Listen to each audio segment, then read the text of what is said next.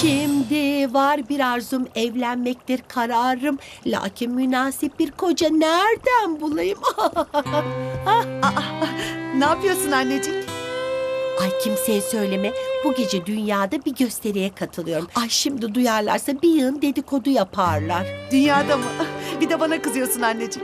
Ay böyle bir şey değil kızım yardım amaçlı. Üf, beni ilgilendirmez. Keyfine bak. Sen nereye gidiyorsun? Hiç. e, şöyle bir etrafı dolaşıp eski dostlara bakacağım. Ben de biraz daha çalışayım da mahcup olmayayım bari adamcağız. Kimmiş bu adamcağız? Ay yok canım öyle bir şey değil bir arkadaş.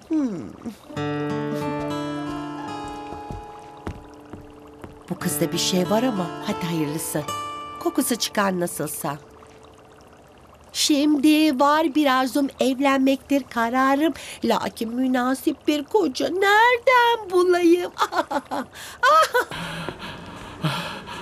Bu Kuline Hanım da nerede kaldı? Aa, aman hanımefendiciğim.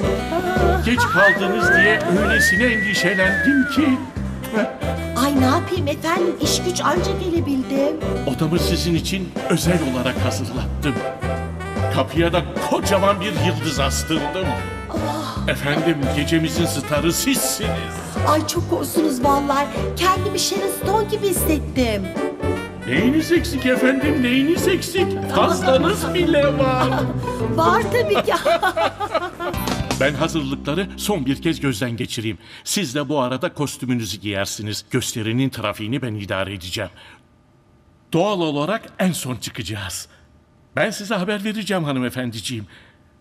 Ay müdürcüm beni şımartıyorsunuz. Her şey çok çok güzel olmuş. Ben sizi burada kendinizle baş başa bırakayım. Görüşmek üzere. Peki efendim. Mersi. Nerede kaldı? Gelmeyecek mi acaba? Müdür beyciğim. Aman efendim gelmeyeceksiniz diye iyice endişelenmeye başlamıştım. Ay bu saatte buraya gelmek ne kadar doğru bilemiyorum. Ama ne yapıyoruz ki hanımefendiciğim? Alt tarafı bir prova yapacağız. Gösterinin en mühim kısmı bizim bölümümüz. Prova yapmadan olur mu? Ay çok haklısınız. Tabii olmaz müdürcüm. Kostüm meselesini sonraya bırakalım. Şimdi öncelikle ben size şarkıyı ve dansı öğreteyim. Peki. Bir dakika.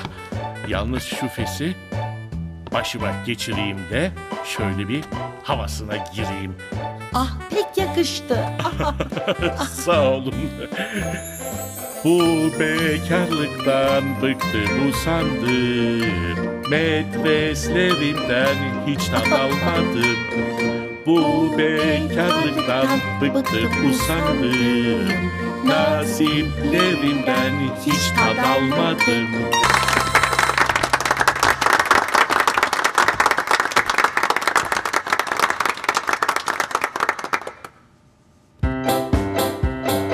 Bu bekarlıktan bıktım